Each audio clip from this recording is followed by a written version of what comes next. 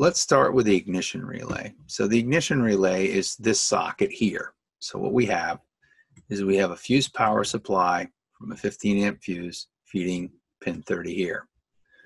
We also have another power supply to pin 86, which comes from the key switch and the helm station, and will go to the key on the I terminal.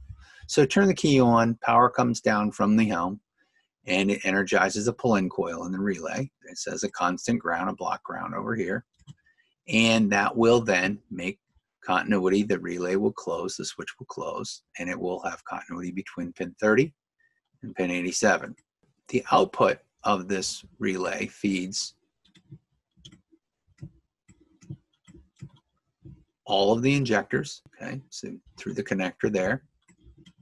It also feeds into the ignition coil, which ultimately feeds the ignition module. And interesting in the diagram, it switches from pink to purple here. Volvo used pink and white coming out of the ignition relay, and then they followed the, the uh, Marine code, the US code for ignition, which was purple, and purple normally would go for a carbureted engine right to the coil. In this case, it goes through a relay.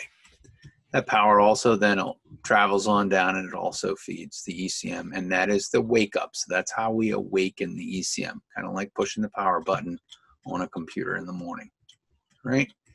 So that's really the wires and the connections for the ignition relay. Let's look at the fuel pump relay. Now the fuel pump relay is a little different because it has power on two terminals, pin 30 and pin 86. Pin 30 is the large current that's going to go to the fuel pumps when the switch closes.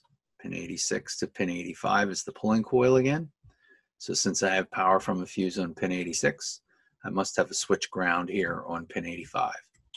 And that does go to ECM pin J1 23. And that's for this particular engine only. Don't expect this to be the same on any other engine. Uh, they change pin locations in ECM as ECM's changed. Um, engines are updated. So you really need the wiring diagram.